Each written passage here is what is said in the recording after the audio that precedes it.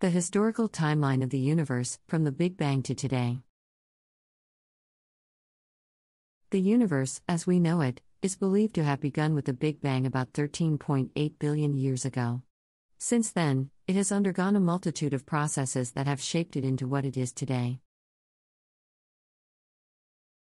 From a hot and dense chaos to the formation of galaxies and stars, the universe has given rise to life and civilization. In this article, We'll take a closer look at the historical timeline of the UN. From a hot and dense chaos to the formation of galaxies and stars, the universe has given rise to life and civilization.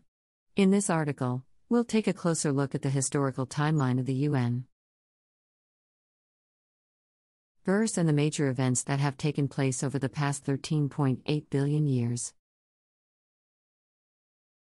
The Big Bang, 13.8 billion years ago. The universe is believed to have begun with an explosion known as the Big Bang. Scientists infer this based on observations of the cosmic microwave background radiation, which is a faint radiation TH. T pervades the entire universe. It is thought that at one point, the universe was a hot, dense, and singular point that expanded rapidly at a phenomenal rate. T pervades the entire universe. It is thought that at one point, the universe was a hot, dense, and singular point that expanded rapidly at a phenomenal rate. Inflation and formation of elementary particles, within seconds of the Big Bang. Following the Big Bang, the universe continued to expand and cool down rapidly. During this time, the universe underwent a process called inflation, which caused it to expand massively in a fraction. F a second. After this, the universe went through a process of cooling, which allowed for the formation of elementary particles such as quarks and electrons. F a second. After this, the universe went through a process of cooling, which allowed for the formation of elementary particles such as quarks and electrons. Nucleosynthesis, within minutes of the Big Bang.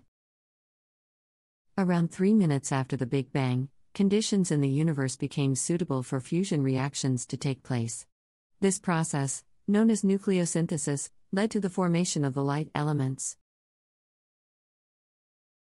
including deuterium, helium, and lithium.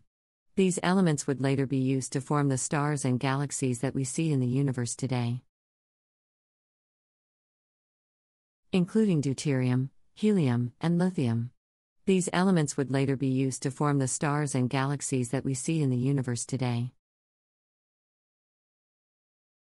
Formation of the first structures, within 400,000 years of the Big Bang. In the early universe, matter was distributed almost uniformly. However, slight variations in density led to the formation of the first structures in the universe, which were hydrogen and helium gas. Laugs. These structures would eventually collapse under their own gravitational force to form the first galaxies and stars. Laugs. These structures would eventually collapse under their own gravitational force to form the first galaxies and stars. Formation of galaxies and stars, 400 million years to 1 billion years after the Big Bang. As the universe continued to expand, the first stars and galaxies began to form. During this time, gravity played a crucial role in the formation of galaxies. Dark matter, which makes up a significant